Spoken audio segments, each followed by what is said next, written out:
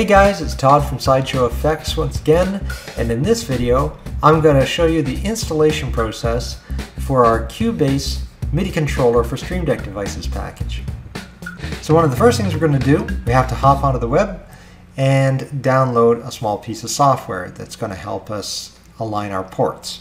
Now if you've installed one of our other packs in the MIDI controller series, you likely have already gone through the process of downloading Loop MIDI and assigning the ports. You can skip this part if you've already done it, they use the same ports. So opening up your browser of choice, you're going to navigate to this address and the link will be in the description below and it's also here on the screen for you. Make it easy for you to just hop over to it. And you're going to download this piece of software called Loop MIDI. So you just hit the uh, download Loop MIDI, and then we're going to double click the Loop MIDI setup. And we want to make sure that the auto start Loop MIDI when logging in is selected. Very important. You got to make sure that this uh, always will load up when you restart your computer, and that way you don't ever have to worry about aligning the ports every time. And then we'll agree to the license terms. We'll install.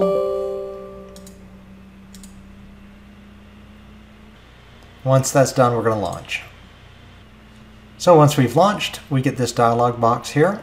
We're going to assign some new ports. So I'll click on the new port name. We're going to overwrite this.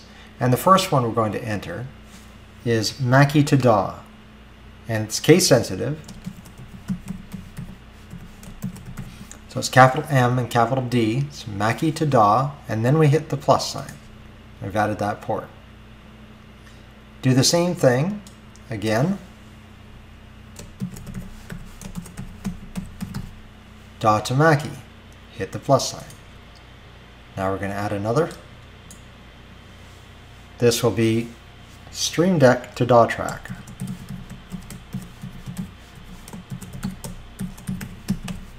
Once again, being aware of the case sensitivity. Hit the plus sign. And one more.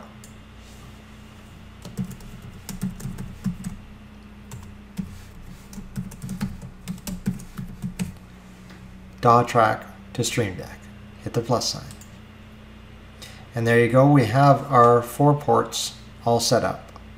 Now we can just set this off to the side, and we're going to go to Stream Deck.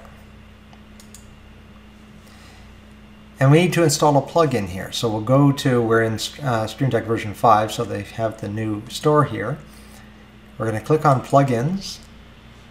In the search box here, we're going to type MIDI and it'll be this plugin here that we want to install, MIDI by Trevliga Spel. Say install. Just takes a second. And once that's installed, we can close out the store. So next, we launch Cubase. In the top menu, we're going to go to Studio, Studio Setup. And on the left-hand pane here, we'll go down to MIDI port setup. Now your dialog may look a little different than this one, but what you should have, since we just installed the drivers, you should have in the in uh, port area Mackie to DAW and Stream Deck to DAW track, and in the outport area a DAW to Mackie and a DAW track to Stream Deck. So for the import, the Mackie to DAW, we're going to select visible. For the Stream Deck to DAW track, we're going to select visible and in all MIDI. For the DAW to Mackie, select Visible, and for the DAW track to Stream Deck, select Visible. Now over on the left-hand side here, we're going to create we're going to add a device. So click on Add a Device, and we're going to add in a Mackie control device. And under our new Mackie control, for the MIDI input, we're going to select Mackie to DAW, and the MIDI output, DAW to Mackie. Now in this area here, we're going to assign three functions. So for the F1 function, click on the category, and this is going to be an add track, and the command will be audio mono. For F2 in the category, it'll be another add track, and this one will be an instrument. And for F3, this will be a transport category, and the command will be activate metronome. We click apply And that's our setup for Cubase. So the next thing we're going to do is we're going to go to the folder you downloaded from SideshowFX, your Cubase MIDI controller stream for Stream Deck uh, folder. And inside of there, you're, you're going to see this folder here, MIDI graphics. Now what this is, this contains all of the graphics for the Stream Deck profile. So if we open this up, you can see it's divided by Mac and Windows. We'll go over to Windows. And there's this folder here, Trevliga Spel. This folder has to be dragged over to your Documents folder. So I'll just pull open my Documents, and you just take this entire Trevliga Spel folder, drop it into your Documents. I've already got it there, so I won't do it right now, but that's where it'll go. I'll go back to our Cubase MIDI controller downloaded folder. The next thing we're going to do is install the Stream Deck profile itself. Now inside the Stream Deck profiles folder, divided into Mac and Windows again, we'll go to Windows, and you'll see these two files here. We have one profile for the regular 15 key device and a second for the XL device. So depending on which device you're working with, that's the profile you'll import. And how you do that, we go to Stream Deck software, click on the gear icon here, go to the profile section. In the drop down arrow, import. And we'll navigate to our Cubase downloaded folder to the Stream Deck profiles and in Windows. And this is where you will import either of these two profiles. And once you've downloaded it, this is the main page you're going to be presented with. At that point, you should be good to go. But one other thing I want to point out while we're here is in the Stream Deck Profiles folder in your Cubase MIDI controller download is a to copy folder. Now what's in here are two more profiles, one for the 15 key device and one for the XL.